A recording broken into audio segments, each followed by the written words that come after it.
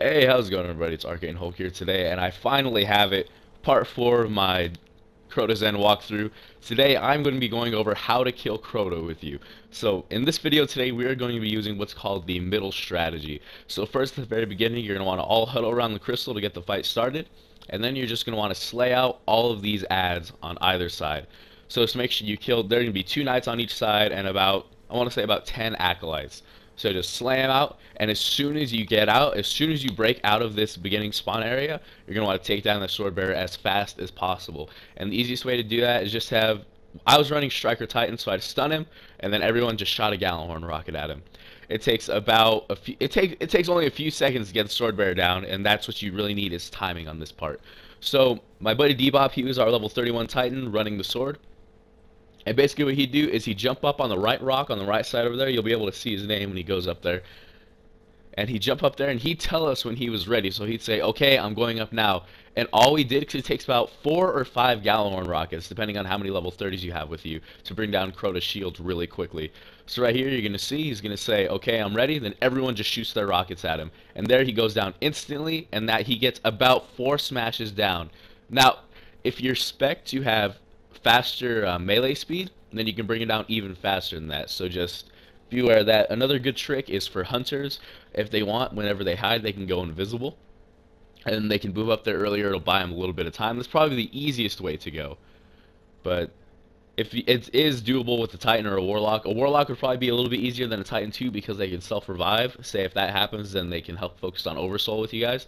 But another thing I want to... Ah, sorry about that. Another thing I want to mention is the Oversoul. So as soon as you leave the spawn area, if someone dies, what's going to happen is Crota will summon his Oversoul. It's that big eye in the sky that's right there on my screen. It'll become inflamed and engulfed in flames, I guess you could say. And you just shoot at it, and with enough DPS, you can get, and it'll be destroyed. Uh, another important thing I want to explain is how to regen health. So a lot of you that have probably played the raid already, you'll know that you have a debuff called Presence of Crota. Whenever Crota is around, you cannot regenerate health.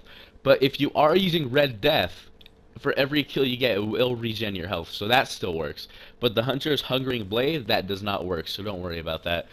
Um, Hunter class setup, I recommend Shadowjack and whatever allows you to turn invisible. That's what we used to help get revives down in case anybody needed to, and it was really helpful in the long run. As for Titans, I like the stun grenades. They help stagger the ogres a little bit. One Titan with stun grenades and one Titan with weapons of light or some type of Ward of Dawn variant is very strong. Warlocks with Voidwalker and Radiance, as long as you have one of each, that'll be perfect.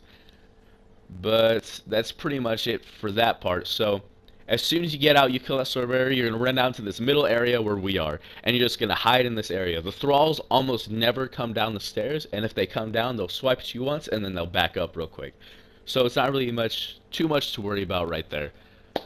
And that's pretty much it. I'm trying to think if there's anything else I'm forgetting. But yeah, okay. So recently there was a cheese method discovered um, that will help you so where you don't need the chalice to regenerate your health. So basically all you have to do is everyone on your team wipes and as soon as the countdown timer, you know how it goes from 6, 5, 4, 3, 2, 1, as soon as it hits 0, have your Warlock use Radiance and then that will, he can revive everybody and that gets rid of the debuff for the entire round. So if you guys are struggling a little bit, you could try that. I haven't done it myself, but I have seen proof of it. My buddies have done it and it looks like it's a legitimate tactic. So if you guys want to try that out, it can be really, really helpful. You don't have to focus on the chalice anymore, but I'd still pick up the chalice just in case something bugs out or goes glitchy a little bit. But yeah, it took us about 11 minutes to finish the whole fight. I know some teams have beaten it in like less than three or less than four, which is pretty crazy, but yeah, we did it with about five level 30s and level 31. I just wanted to make sure I get this video out to you guys and for everyone who's just waiting to kill Crota for the first time. My loot drops at the end, I think everyone gets the exact same loot drops. I ran it on all three of my characters and got the same thing, except for the weapons, they were different. I got the emblem, the Crota's Bane emblem, I believe it was called. Then I got the shader called Cryptographic, or something along the lines of that. And then I got the rocket launcher, the, I don't know, called the something of Crota. And then I got the sniper rifle called Black Hammer. Black Hammer is freaking sick. All the weapons in this new raid look freaking cool. But um, no exotic drops from the chest or anything. If you guys want, I know that the videos are already out for the chest locations, but if you guys want me to post them as well, just let me know down in the comments section. And that's pretty much it for the video, guys. So just a basic recap. Two knights on each side of the spawn room.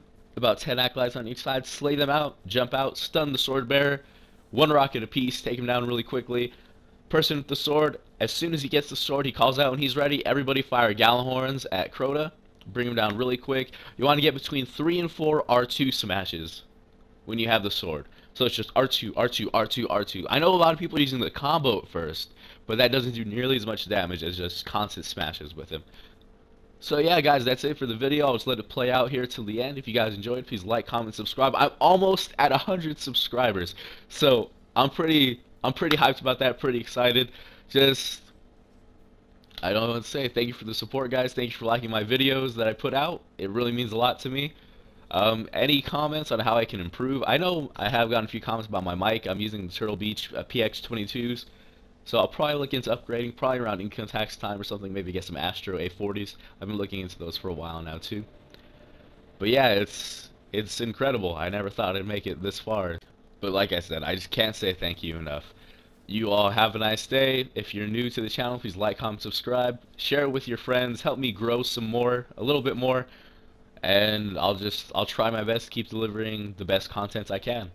And I just want to send a quick shout out to my friend Feenan.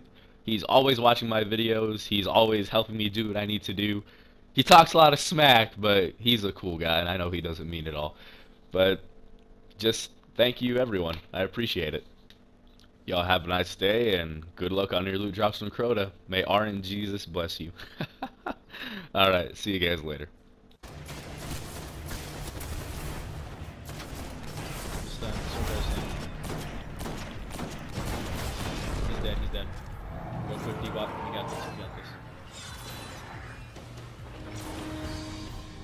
Everybody has their rockets ready, right?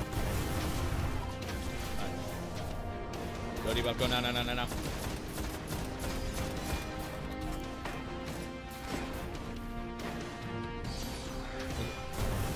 got him right here, guys. We got him right here. Bring him down again. He's down, debuff. He's down, he's down.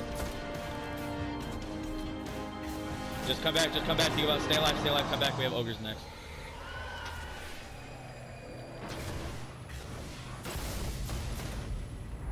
It's all good. Let me use the synthesis. We got it right here. We just need one sword.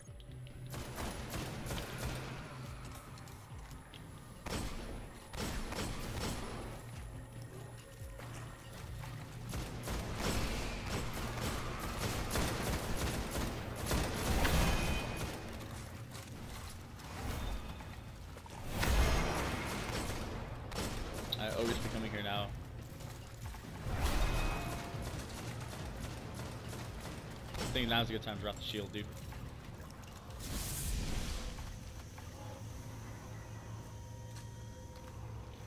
That's my fault.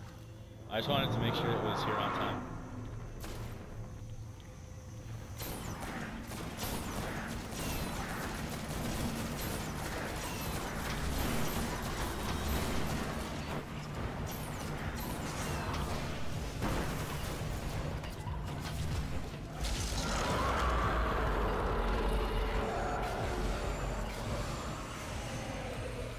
Get the enrages near some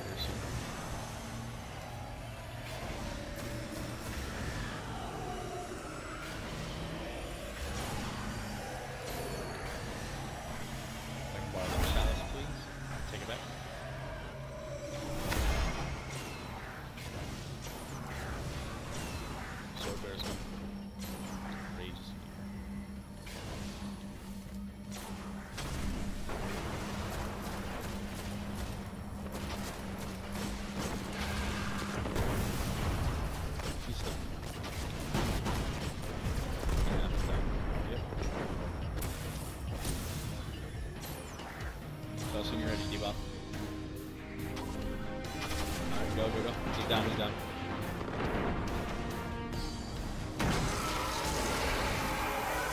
I got Black Hammer. I got Black Hammer.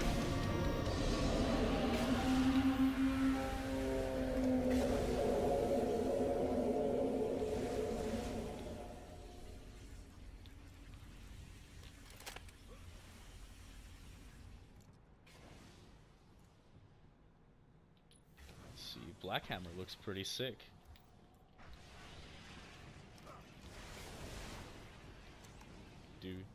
This sniper rifle's sick.